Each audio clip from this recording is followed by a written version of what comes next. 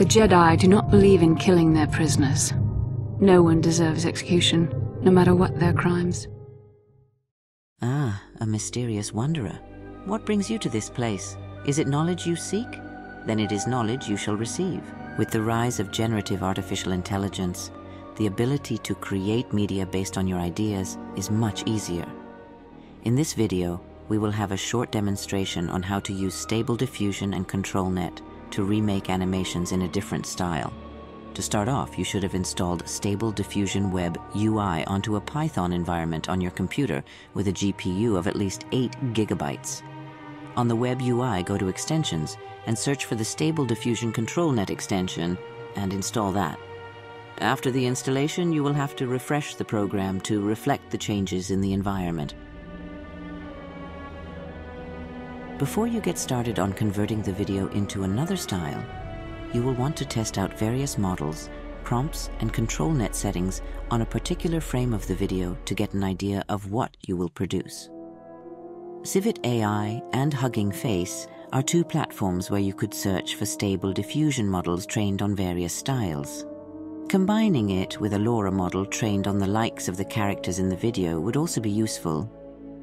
Feed the frame into the image to image module, adjust the resolution settings accordingly, and type in relevant prompts to the style as follows. Remember to also add in the activation words, like the name of the character and style.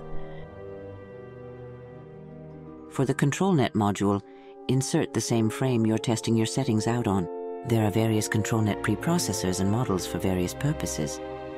But for our case, we will be using the Line Art Realistic preprocessor with the following model. Running the generation with the prompts and the control net settings, we get the following result, which is a decent anime version of Bastila Shan. Now we know the settings which produces a style we want, we can proceed to the animation module.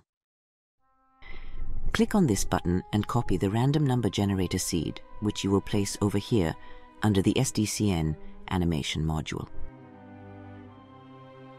Copy and paste the prompts and ControlNet settings you used in the image-to-image -image module and enable the ControlNet module. The input image will not be necessary here as the extension inputs the relevant frames. Adjust the width and height here according to the resolution of your video. Depending on the capacity of your GPU, you may need to scale it down. Drop your video here and enable the checkbox under the Generate button to save your frames as a separate picture.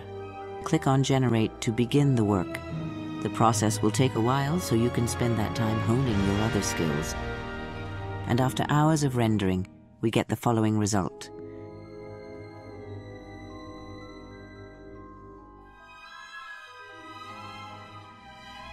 Notice the flickering of the AI animation. This is still inherent for many styles, as for now, but you can do some things to mitigate this effect.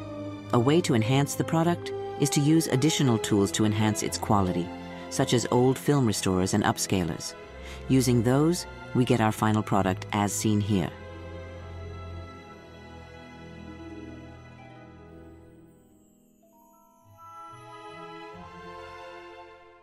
And that is it for this quick tutorial. I hope this was useful for you. If you are interested in more generative AI Star Wars content, be sure to like and subscribe. Thanks for watching and may the Force be with you.